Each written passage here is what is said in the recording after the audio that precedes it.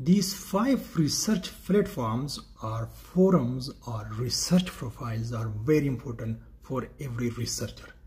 These platforms are not going to enhance your knowledge, your education level, but also help to connect with other researchers across the world. The first one is ResearchGate. Every researcher must have their uh, research ID, this profile. Very, very important. Uh, there is a hard debate uh, among the researchers and people connect with each other through this platform. Very important. The second one is Web of Science. The third one is Scopus. The fourth one is very important Google Scholar, which help you a lot uh, to connect with other researchers. The last one is ORCID. This becomes very important these days when you are doing publication because with every research